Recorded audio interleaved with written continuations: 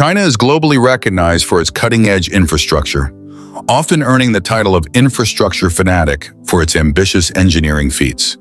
Across the country, China has built countless bridges, tackling extreme geological challenges with precision and innovation.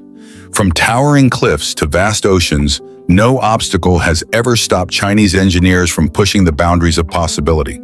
One of the most remarkable examples is the Hong Kong-Zhuhai-Macau Bridge, an engineering marvel that overcame immense difficulties during construction. Today, I said, ah, oh,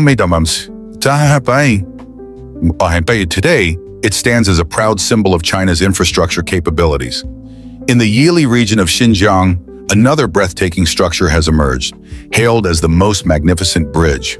Despite spanning just 700 meters, its construction came with a staggering price tag of 2.39 billion. Known as China's richest bridge, the Guozigou Bridge is located in the Ili Kazakh Autonomous Prefecture of Xinjiang. Stretching 700 meters across a deep valley and soaring 200 meters above the ground, the bridge features a meticulously engineered four-lane two-way roadway, embodying both structural excellence and economic significance.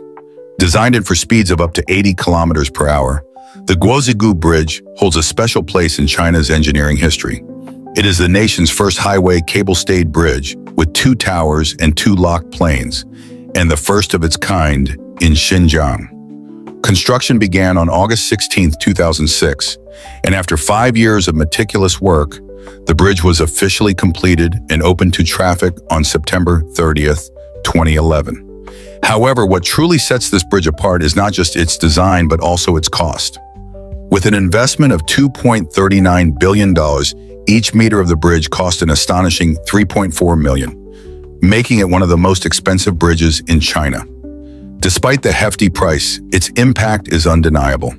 The Guozigou Bridge plays a vital role in regional transportation, easing travel and enhancing connectivity for local residents and businesses alike. Strategically positioned at the intersection of Fruit Ditch and General Ditch, it also serves as a crucial route within the scenic Guozigou area. Extending from Montjoncourt in the north to the Yongjungu Tunnel in the south, this engineering marvel not only improves accessibility, but also drives economic growth in the region.